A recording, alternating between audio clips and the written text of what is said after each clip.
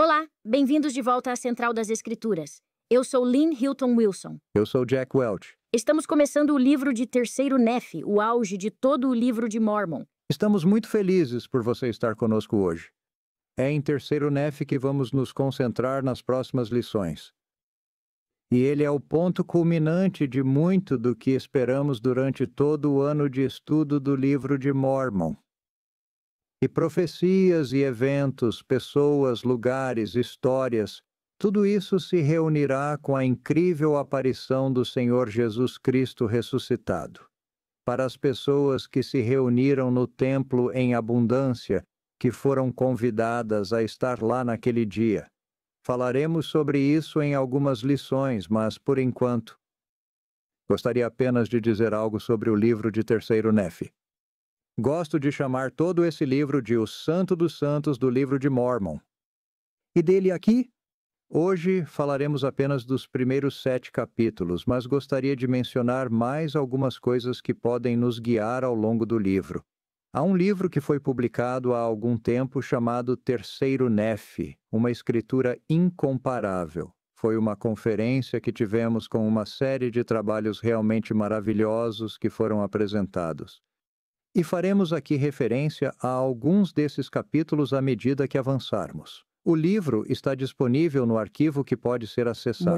E será de grande utilidade para nós. Um dos capítulos desse livro fala sobre como o livro de Terceiro Nefe é realmente o livro do grande sumo sacerdote. É claro que Jesus é o grande sumo sacerdote, e ele realiza muitos dos milagres, curas, profecias e coisas pertinentes ao papel do sumo sacerdote. Mas além disso aqui, Nefe que é um jovem no início de terceiro NEF e que viverá muitos dos eventos que acontecem aqui em terceiro NEF, ele também é o sumo sacerdote. E muitos dos fatores enfatizados em terceiro NEF são as funções exercidas pelo sumo sacerdote. E vamos nos concentrar nelas à medida que avançarmos. Agora, outra coisa sobre a qual falaremos de vez em quando. Para cada capítulo de Terceiro Nefe, publicamos artigos dos Noais. E, portanto, há uma grande lista deles, às vezes mais de uma. Por exemplo, há um Noai 577 sobre como entender o livro de Terceiro Nefe, como o livro do sumo sacerdote. Com o número do Noai, você pode pesquisar de várias maneiras para encontrar esse Noai em particular e identificar as informações relevantes. Nos capítulos de hoje, do 1 ao 7, temos 25 diferentes noais. Assim, vou dar apenas uma visão geral do que falaremos hoje. Nefe é filho de Elamã e assume não só como guardião dos registros, mas também como profeta. Seu avô é o segundo Elamã, e isso ocorreu há apenas 50 anos. Ele não pode ser muito velho. Em apenas 50 anos, tivemos três guardiões dos registros. É isso mesmo, não sabemos para onde foi seu pai, mas eles acreditam que ele foi para algum lugar na terra de Zaraenla, porque eles o procuraram e não o encontraram. Bem, em alma, o filho é dito que ele partiu, e eles presumiram que ele havia sido transladado. Aqui não diz isso, mas talvez ele tenha sido. Eu não sei. Vamos descobrir. Mas o que mais acontece aqui nesses capítulos? Uma guerra de dez anos. E é tudo contra os ladrões de Gadianton. Há muitos extremos nesse capítulo, o justo e o ímpio. E assim que o Senhor vem, é claro, temos a justiça e a misericórdia também. Essa guerra de dez anos também será abordada no capítulo 8, portanto, não terminaremos com tudo isso. Mas é interessante que nas experiências mais belas, santas e justas, temos o auge da luz e da bondade ocorrendo no livro de Terceiro Nefe. Mas ele também começa com a profundidade, o pior. Essas batalhas. Os piores anos já vividos na história nefita parecem agora estar todos compilados bem aqui, compostos uns sobre os outros. Acho que isso provavelmente se deve ao fato de Satanás saber o que está por vir e está tentando fazer tudo o que pode para impedir isso. Ao lermos terceiro Nef, gostamos de pular os capítulos ruins no início e nos perguntamos: por que tivemos de passar por isso? Bem, temos de passar pelas provações e problemas. E então a luz brilhará ainda mais forte. Acredito que temos esses capítulos, Jack, para reconhecê-los agora. Porque há muitos paralelos na lição desta semana com nossa própria geração. E Mormon é quem está nos dando isso. Agora ele, claramente. Editando Nefe, filho de Nefe, Mormon tem alguma ideia do que está por vir em nossos dias, mas ele já viveu muitas dessas coisas em seu próprio tempo. Portanto, ao contar a história do motivo pelo qual a nação nefita acabará entrando em colapso, é importante para ele enfatizar esses problemas, que têm um jeito de ser persistentes. E, no entanto, ele sabia como eles poderiam resolver esses problemas. ele está nos ensinando como resolver alguns dos desafios que também enfrentaremos em nossa geração.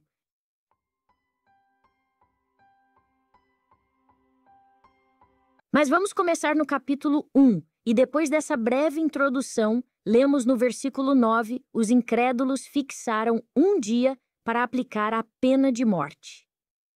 A todos os que acreditavam naquelas tradições, caso não aparecesse o sinal que havia sido anunciado por Samuel, o profeta. No início, isso me incomodou bastante. Eu estava muito preocupada. Como é que eles estão determinando uma data? Bem, é preciso voltar à lei de Moisés e encontrei uma das notas de rodapé do capítulo 13 de Deuteronômio, versículo 5. Ela descreve a necessidade de se matar um falso profeta, veja isso, e, portanto,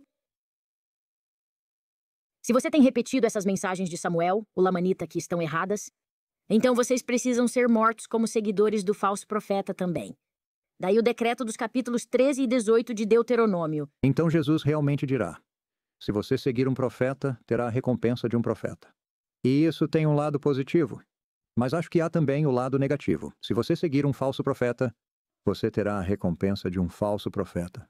Portanto, isso pode ser parte do pensamento deles aqui, Acho que eles contaram com cuidado e acho que mediram essa janela de cinco anos da forma mais generosa possível. O modo como se olha para o tempo de Samuel e outras coisas, acho que eles estão dizendo tudo bem, já passou tempo suficiente. Cinco anos, todos os cinco anos, não há como. Não há como continuar acreditando nisso porque a profecia de cinco anos era tão específica se ela não veio. Assim, o profeta Nefe começa a suplicar por essas pessoas e em sua oração vemos muitos paralelos. Acho que a essa altura Nefe está agindo como sumo sacerdote. Seu pai se foi. E até agora. Eles não têm certeza de que ele não voltará até que decidam isso dez anos depois. No entanto, embora Nefe, quando jovem, esteja agora no comando dessa crise com seu povo, é a ele que eles estão procurando. E, Estou realmente impressionado com o fato de que ele tenha assumido tamanha responsabilidade e iniciativa. E ir e suplicar o dia inteiro. Com Deus. Até a noite. Se isso aconteceu ou não, acho que não. O nascimento. O nascimento já estava para acontecer, mas ele não sabia disso.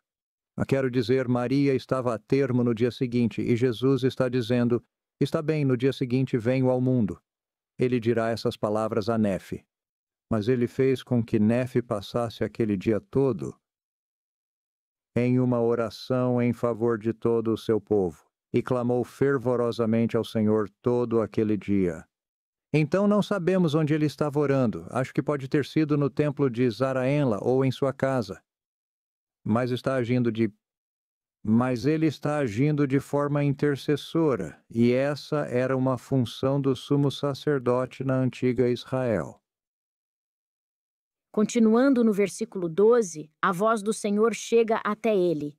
E eis que lhe chegou a voz do Senhor, dizendo: Levanta a cabeça e tem bom ânimo. E pulando um pouco para o versículo 13, esta noite será dado o sinal. E amanhã virei ao mundo para mostrar ao mundo que cumprirei tudo aquilo que fiz com que fosse dito pela boca de meus santos profetas. Agora, se ele estiver no útero na época, essa mensagem foi descrita como uma investidura divina de autoridade. Que sabemos que o Senhor Jesus está em seu corpo. está sim em seu corpo. E foi interessante encontrar uma declaração da primeira presidência em 1921 afirmando que o espírito entra cedo no corpo, não na primeira respiração, mas desde cedo. Então, Lin, o que você está sugerindo com essa investidura divina é que foi um anjo do Senhor que falou e disse: E amanhã virei ao mundo. E assim talvez tenha sido o anjo Gabriel ou Miguel ou quem seja. É isso que você está sugerindo? A voz que veio a ele, a voz em sua mente, disse: Eu. Mas estou sugerindo que. Literalmente, Jesus está no útero nesse momento. É isso mesmo. E o que estou enfatizando é que um anjo como Gabriel poderia dizer essas palavras: E amanhã virei ao mundo. E, obviamente, naquele momento, esses anjos tinham um papel muito importante a desempenhar. No período que antecedeu o nascimento de Jesus, aparecendo a Maria e Isabel. E não temos ideia de quem era esse anjo, mas havia uma voz se comunicando. Mas seria perfeitamente natural que um anjo levasse essa mensagem, como acontecia no mundo antigo. Acontecia lá no passado. Também gosto do fato de que no versículo 15, a descrição da estrela vem como um pequeno quiasmo. Ao pôr do sol, não houve escuridão. E então, o ponto central, o povo começou a admirar-se. E então, fazemos um paralelo novamente, porque não houve escuridão quando chegou a noite. Portanto, o espanto do povo, é claro, será grande, porque todos esperavam ser mortos ou fazer a matança. E, é claro, o Senhor vem e tudo muda. E as pessoas também mudam seus corações, o que é a melhor parte de todas. Isso mesmo, reconheceram isso. E vamos passar para o capítulo 1, versículo 22. Daí em diante, Satanás começou a espalhar mentiras entre o povo, para endurecer-lhe o coração, a fim de que não acreditassem naqueles sinais e maravilhas que tinham visto. Mas, apesar dessas mentiras e enganos, a maior parte do povo acreditou e foi convertida ao Senhor.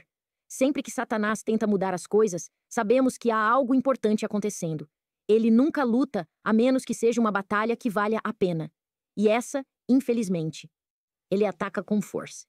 Vocês sabem que a palavra Satanás aparece de vez em quando no livro de Mormon. É uma palavra hebraica. Satã. Ela tem um significado comum. E especialmente em questões legais. Um Satanás é um acusador ou um reclamante. E assim, em um tribunal, uma pessoa se levanta e faz uma acusação. E, embora pareça um pouco humilhante para nós, seu papel é ser um Satanás, ser um acusador. Portanto, sabemos que o verdadeiro nome de Lúcifer, o nome pré-mortal, não era Satanás. Ele se tornará um acusador. Seu papel, o que ele se vê fazendo, é procurar causas de ação para que possa entrar com ações legais contra nós e exigir que ele agora seja nosso dono. Diante da barra de julgamento de Deus, haverá um processo judicial. E por fim, ele será o acusador eterno. A palavra é usada com muita precisão no versículo 22. Exato e com o objetivo de fazê-los duvidar e poder acusá-los de não crerem mesmo quando esses sinais foram transmitidos. Agora, no versículo 24, lemos: E não havia contendas, a não ser por alguns que começaram a pregar, esforçando-se para provar pelas Escrituras que não era mais necessário seguir a lei de Moisés. Ora, nisto erraram, não havendo entendido as Escrituras. Mas passando adiante, foi-lhes revelado que a lei ainda não estava cumprida. Presumo que os profetas tenham conseguido esclarecer isso e que tenha sido esclarecido. Mas com o passar do tempo, agora estamos no 94 ano do reinado dos juízes. Parece que a nova geração, os jovens nefitas e lamanitas, estão se unindo a alguns dos ladrões de Gad e Anton. E quero ler no versículo 30 uma palavra muito importante. Ainda estamos no capítulo 1 do terceiro Nefe. Começavam a agir por conta própria. Essa maldade da nova geração é um problema de toda geração quando nos tornamos egocêntricos. Que frase fascinante! Ela não é usada em outro lugar das Escrituras. Começavam a agir por conta própria. O que significa a palavra por? Não sei, o que acha? Acho que significa que agora tudo gira em torno deles mesmos. Eles são por si mesmos, não são por outras pessoas ou Não, para não estão trabalhando para. Deus e seu reino, para seus vizinhos, para os outros, para seus pais. É egocentrismo. Acho que é isso mesmo, e que não seja apenas na atitude. Mas quando você se torna a favor de outra coisa, agora você se torna um defensor dessa coisa. Um defensor ou um trabalhador ou o que quer que tente fazer. Você está agitando por certas coisas, e nesse caso, todos eles estavam trabalhando para si mesmos. O que os levou, infelizmente, à iniquidade.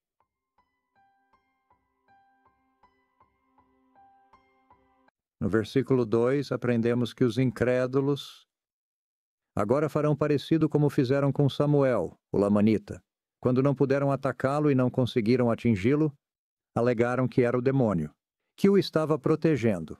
Portanto, temos um tipo de resposta semelhante aqui. Eles não conseguem explicar o sinal que viram. E você sabe, o sinal era que, embora fosse noite, tinha luz durante toda aquela noite.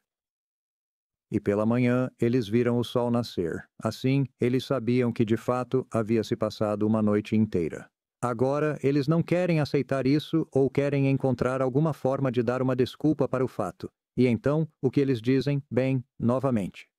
Deve ter sido um sinal maligno. Portanto, eles acreditavam que havia espíritos e forças malignas que influenciavam a natureza e os acontecimentos. Assim, pode-se dizer que tal processo era maligno, que não era regido por Deus. Processo maligno ou algo que não deveríamos atribuir a Deus. Satanás faz um bom trabalho tentando distraí-los. Mas o que é interessante aqui é que eles reconheceram que aquele sinal havia acontecido. Exatamente isso. Agora eles estão tentando explicar isso.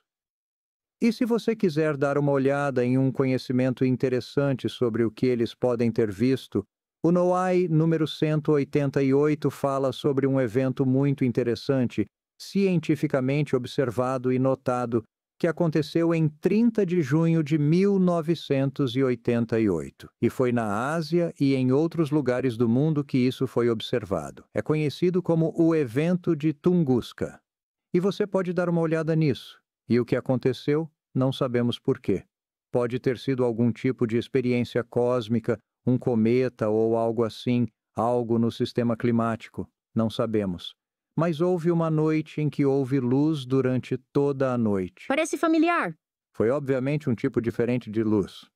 Um evento muito diferente. No entanto, o texto diz que esse tipo de coisa pode acontecer. E talvez essas pessoas estivessem dizendo: bem, foi apenas um evento natural e não atribua muita importância a ele. Mas isso realmente não é verdade. Porque Samuel havia profetizado especificamente. E isso acontecerá em cinco anos. Portanto, acho que o sinal é muito claro. E assim, com isso, eles começaram naquele ponto do versículo 8 a recalibrar seu sistema de calendário. E, em vez de manter o controle de quantos anos haviam se passado desde o reinado dos juízes, ou mesmo desde a época em que Lei havia deixado Jerusalém, eles agora registram o tempo a partir do sinal.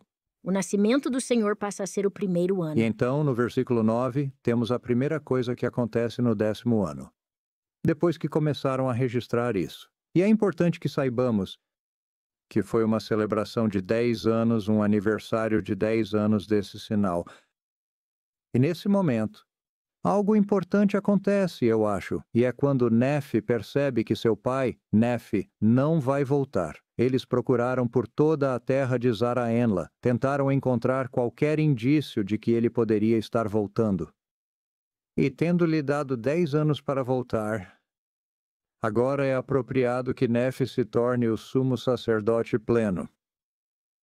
E acho que esse é um ponto importante para o livro de terceiro Nefe, porque é o livro desse sumo sacerdote. E saber quando ele se torna plenamente capacitado como sumo sacerdote nos permite seguir seu caminho. ou durante o restante do livro de Terceiro Nef. Esse pequeno capítulo termina com novamente uma carnificina na terra, liderada pelos ladrões de Gad Anton. E os Lamanitas, porém, curiosamente uniram-se aos Nefitas. Portanto, há Lamanitas e Nefitas fiéis.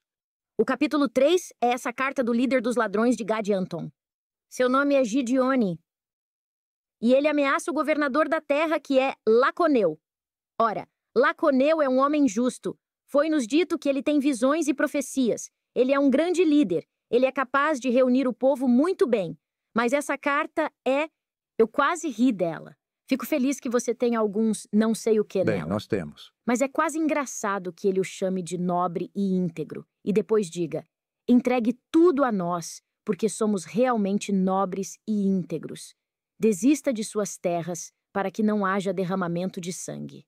E você apontou um aspecto interessante dessa correspondência entre Gideone e Laconeu. E a propósito, imagino que eles se conheciam muito bem porque os Gadiantons estão sediados inicialmente em Zaraenla, e assim. Por que eles não se conheceriam? Temos um No Why, que é o No Why número 190. E ele pergunta: por que ele foi tão educado ao falar com Laconeu?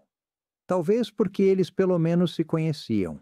Mas mais do que isso, analisando vários exemplos de correspondência diplomática, no mundo antigo, de vários lugares diferentes em todo o mundo.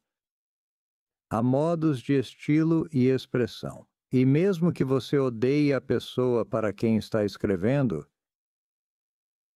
não você coloca todos esses versos ou frases de amizade afetuosa como se houvesse afeto entre as partes. Para agradar. Isso soa meio que sarcástico, mas acredito que isso fazia parte do sistema antigo. Para nós é sarcástico porque sabemos como as coisas vão se desenrolar. Mas para eles, me parece que estavam neste momento esperando que, bem, talvez vocês cedam a isso. Então, ele está sendo educado e esperando que dê certo. Creio que seja qual for o motivo, o modo de diplomacia deles não era o nosso modo de diplomacia. E o mundo antigo era diferente do nosso. E esse é um exemplo Mas, disso. ao concluir a carta, sou muito grata pela versículo 12. Ora, eis que esse Laconeu, o governador, era homem justo e não podia ser intimidado pelas exigências e ameaças de um ladrão. Então, é aí que a reunião começa.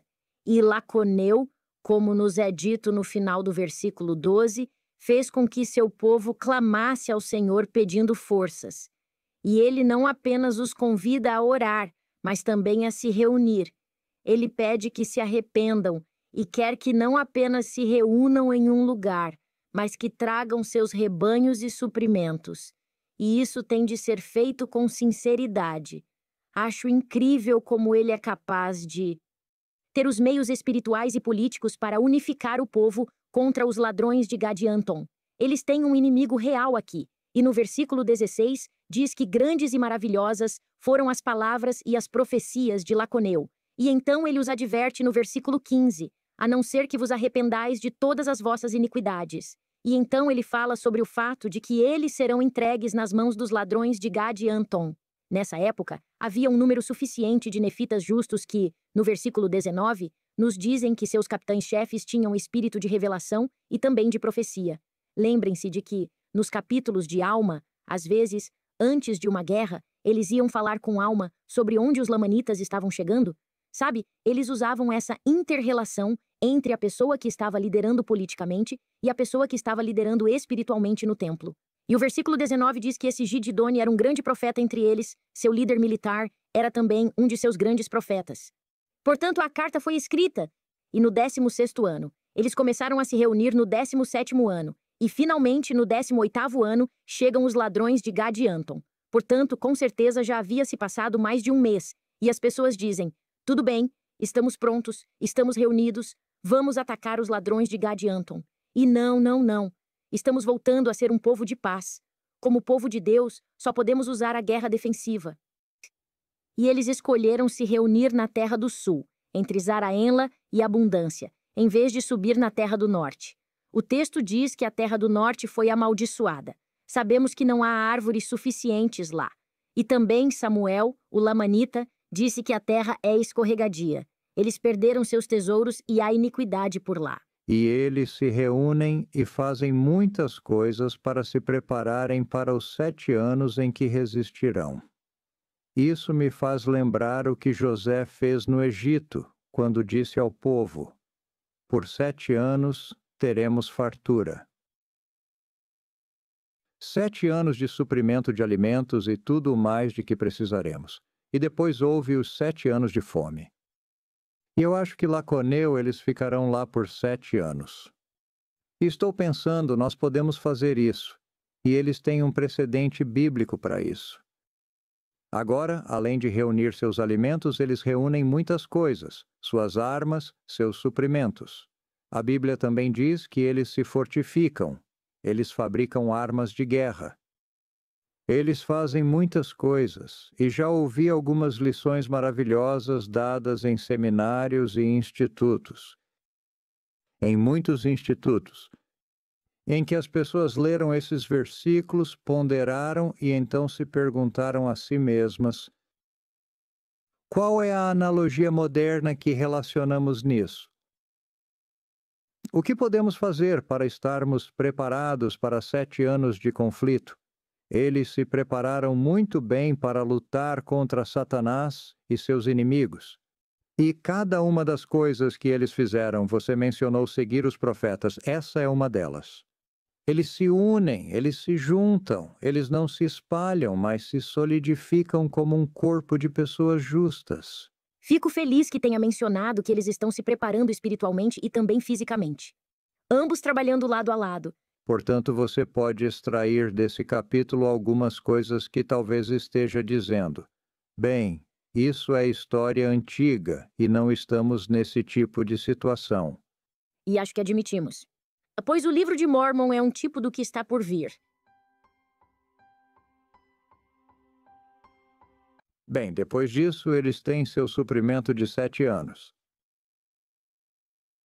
E no capítulo 4, versículo 10, diz que quando eles foram finalmente atacados, e isso foi no 19 ano, a partir do momento em que o sinal do nascimento foi dado, disseram que não temeram. E acho que essa é uma bênção muito poderosa. Quando estiverdes preparados, não temereis. Se você não tem medo, não entra em pânico.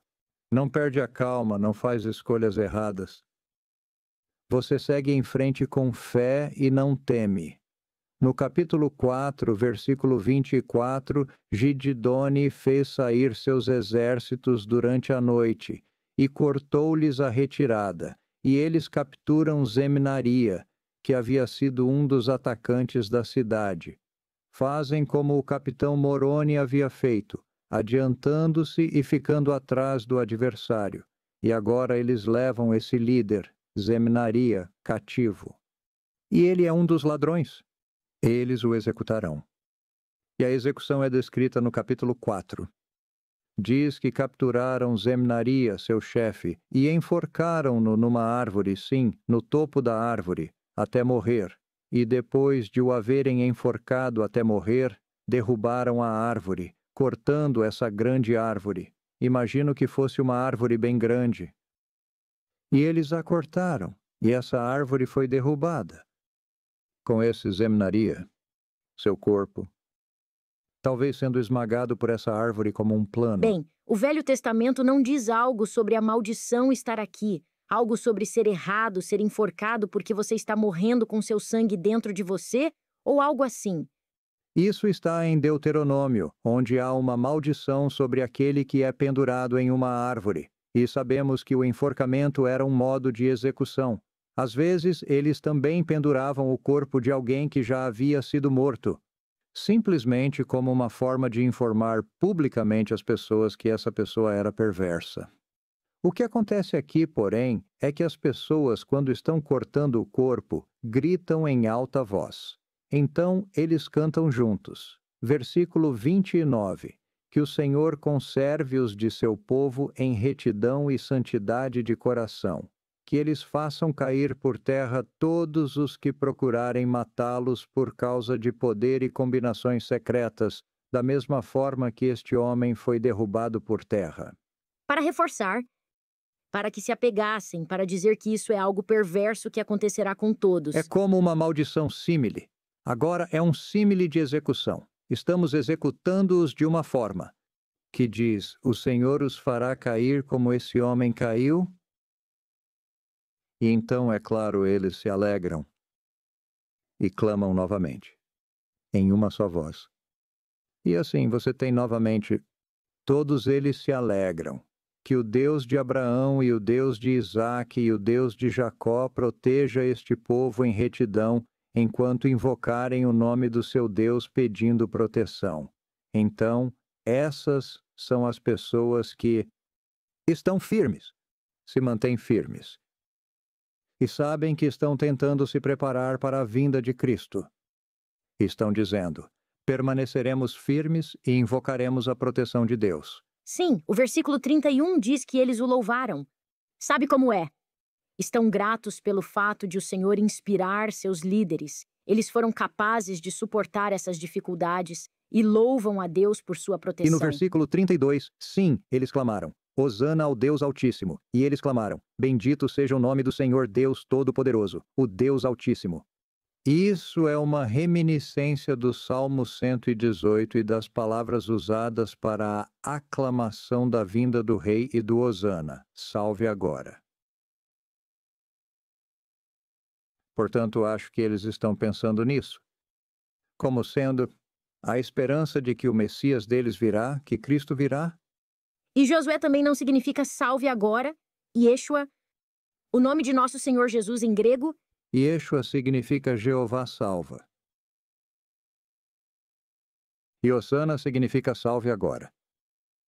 Então as mesmas raízes estão lá, e seus corações estavam cheios de alegria, a ponto de verterem muitas lágrimas. Pode imaginar a vitória que eles tiveram, agora, no que diz respeito ao Noai. Adivinhem! Há um número 192 sobre o corte da árvore. E há paralelos judaicos antigos e americanos antigos com relação a isso. Há uma maldição símile no Popol Vuh, que é discutida nesse Noai.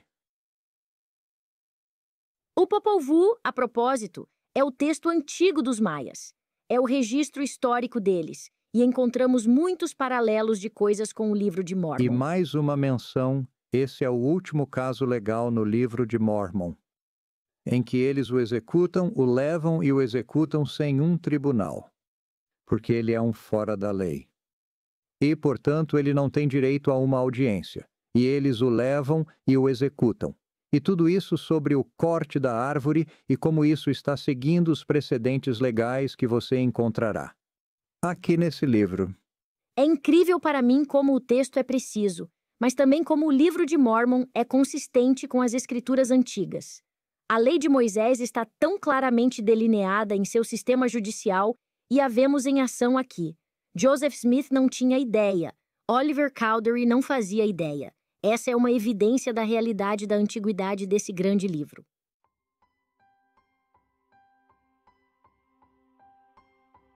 Gosto muito do capítulo 5 porque as pessoas estão seguindo o profeta. O versículo 1 diz: e então eis que não havia uma só alma entre todos os nefitas que tivesse a menor dúvida. E depois, pulando para o versículo 3, lemos: Por conseguinte, abandonaram todos os seus pecados e suas abominações e suas libertinagens, e serviram a Deus com toda diligência, dia e noite. E quando servimos a Deus, servimos uns aos outros. Nos certificamos de que todos tenham comida, roupas e ajuda. E eles têm uma reforma prisional em andamento.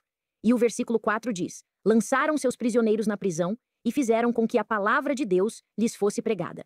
Esses são os ladrões de Gad e Anton, presumo, e todos os que se arrependiam de seus pecados e faziam um pacto de não mais matar eram libertados. E então temos essa sessão maravilhosa. No capítulo 5, do versículo 7 até o versículo 26, onde Mormon sai do modo de editor silencioso para se apresentar como editor bem aqui. E ele já havia se apresentado em alguns lugares, mas não dessa forma. Agora ele quer que as pessoas saibam que sou eu quem está trabalhando com esses registros. E aqui eu sei do que estou falando. Ele quer testemunhar que conhece a exatidão dos registros e que sabe que Jesus é o Cristo. Ele também viu Jesus Cristo. E ele descreve isso aqui. Assim ele pode falar do que sabe. Mas isso tem incomodado algumas pessoas. Então, por que ele diz aqui? E eis que faço o relato. E eis que me chamo Mormon, por causa da terra de Mormon. Eis que sou discípulo de Jesus Cristo, o Filho de Deus. Todas essas coisas que você acha que as pessoas tenham entendido. Especialmente se Mormon espera que elas já tenham lido a página de rosto do livro de Mormon, mesmo que ele ainda não tenha sido escrito.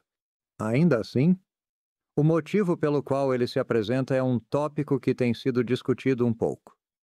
E se você quiser dar uma olhada no Noai 194, a pergunta é: por que ele se apresenta aqui dessa forma?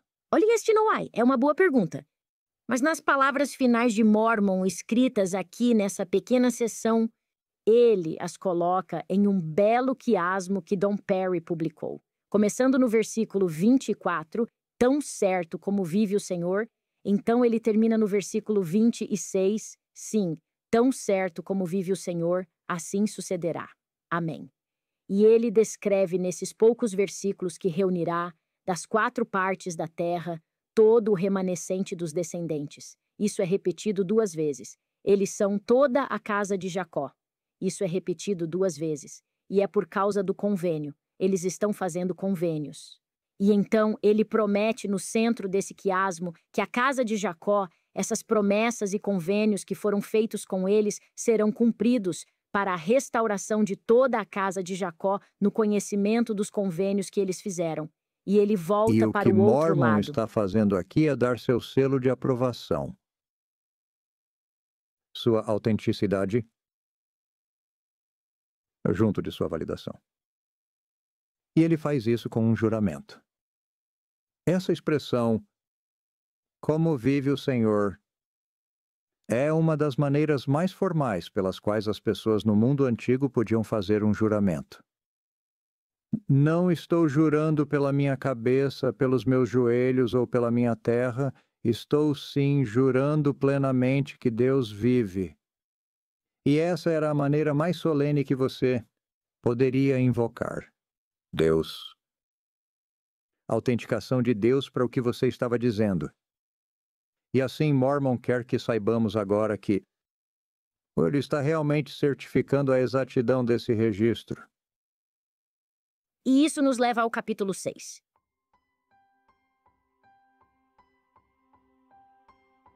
Na verdade, o capítulo 6 avança rapidamente. Estamos agora no 26º ano após o sinal.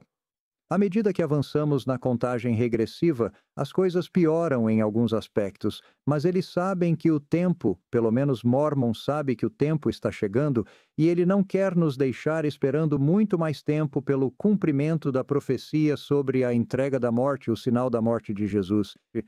Começa em 26 a.C. No versículo 1. No versículo 2, somos informados de que as pessoas que se reuniram sob o comando de Laconeu ainda tinham algumas provisões, o que é interessante, pois, mesmo depois de sete anos, elas tinham sido frugais ou diligentes o suficiente e ainda tinham o suficiente para seguir em frente com fé. E em 27 a.C., a paz e ordem, eles consertam suas estradas, conseguem consertar as coisas. Estavam fora da terra há anos. O vigésimo oitavo ano é novamente um ano de paz contínua. E isso pode ter sido, de certa forma, uma dessas indicações sabáticas. A cada sete anos você tem um ano sabático e o vigésimo oitavo ano foi o quarto ano sabático. O tempo da vinda do Senhor. Exatamente. E assim, talvez eles estejam marcando agora que este será o último ano sabático antes da vinda de Jesus. Mormon saberia disso, embora eles mesmos não soubessem. Eles ainda não sabem disso, mas ele está colocando isso como uma forma de de nos informar que o Senhor está abençoando essas pessoas e que elas estão sendo fiéis. Por pouco tempo. Veja o próximo versículo. Sim, no versículo 10, agora temos o vigésimo nono ano e eles começam novamente com orgulho e perturbação e riquezas e mercadores e advogados. O dinheiro é a fonte do desafio aqui. O orgulho vem de seu desejo de riqueza. E eu não sei o que significa classes, se é apenas uma classe social, mas também pode ter a ver com guildas de negócios ou associações em que certas pessoas excluem outras de oportunidades de negócios. O texto diz que a educação era oferecida àqueles que tinham mais dinheiro. E as classificações eram de acordo com as riquezas e as chances, mas alguns eram humildes. E curiosamente ele diz que eram firmes e constantes e inabaláveis. De onde vêm essas palavras? Acabamos de lê-las há algumas semanas. Elas aparecem de vez em quando, mas a maioria começa com Lei. Quando ele abençoa seus filhos Lamã e Lemuel, para que sejais como este vale, firmes e constantes e inabaláveis. Então, essas são frases clássicas que a cultura nefita fez questão de manter sempre vivas. E Mormon também está usando isso, dizendo que não eram apenas isso, mas estavam dispostos. E esse ponto sobre estar disposto, disposição, é algo que o rei Benjamim também havia abordado. No versículo 22, ficamos sabendo que um novo decreto foi emitido pelo governador que teria sido Laconeu ou seu sucessor, provavelmente Laconeu. Que a pena de morte não pode ser imposta por ninguém. Exceto se ele der permissão para isso, ou o juiz principal. Isso é importante, pois sabem que com a vinda de Cristo ele cumprirá toda a lei de Moisés. E sob a lei de Moisés, havia vários casos em que as pessoas podiam ser condenadas à morte. Poderiam sim. Mas sabendo que Jesus havia chegado, o faz saber que a lei de Moisés não existiria por muito mais tempo. Então ele emite agora: Eu controlarei se a pena de morte é permitida ou não, de modo que agora ela está sendo bastante restrita e talvez ele tenha sido informado que a lei de Moisés será cumprida, portanto, não a use para justificar ações realmente graves por parte das pessoas. Não use isso para justificar ações realmente sérias por parte das pessoas e deixe-as saber que não. Você não pode simplesmente pegar as pessoas e executá-las. Com isso em mente. O que acontece, porém, e talvez ele tenha previsto isso, é que nos versículos 23 a 30, Sabemos que alguns dos ladrões de Gad e Anton matam pessoas que eram profetas. Eles as matam. E uma queixa foi registrada. E porque, obviamente, eles não deveriam estar fazendo isso. E após isso, o caso foi levado ao tribunal. E o acusado, segundo nos disseram, tinha muitos amigos. E por causa dos amigos, advogados e até mesmo alguns sumos sacerdotes, eles não conseguiram obter uma maioria ou não conseguiram obter um consenso para punir as pessoas que haviam matado. Matado os profetas, presumivelmente violando essa nova penalidade que Laconeu havia instituído. E sabemos que aqui houve traição. E houve uma conspiração que continuou e eles formaram um pacto. Agora para destruir o governador e estabelecer um rei destruir todo o governo, toda a lei que Mosias estabeleceu. E sempre houve essa agitação. Vamos voltar ao reinado, um sistema de realeza. O é muito mais fácil de administrar. Administrar se você for o rei. E acho que é tentador.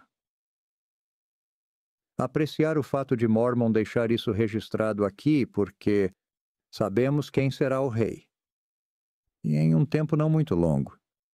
Mas é essa.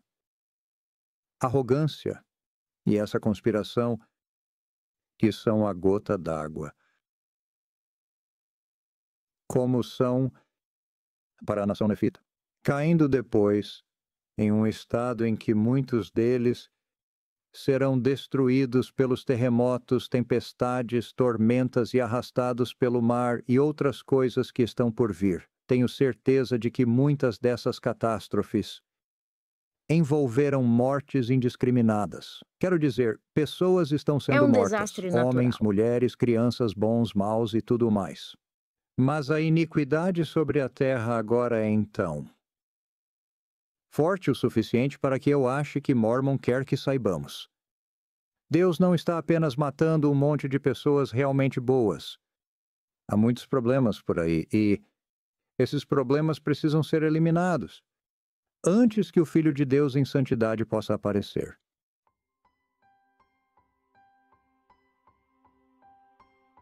Bem, o capítulo 7 é quando o governo de fato falha.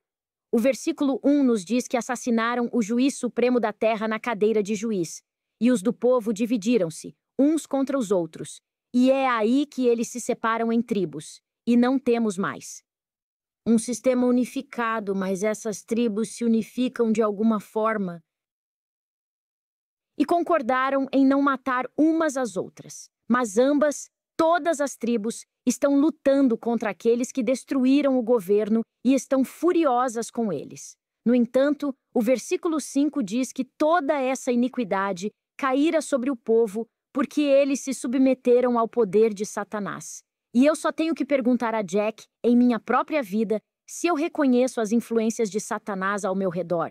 Eu as reconheço em nosso mundo, porque essas pessoas estavam tão envolvidas em suas vidas cotidianas. Não sei se elas viram Satanás destruindo cuidadosamente aquilo que lhes daria liberdade.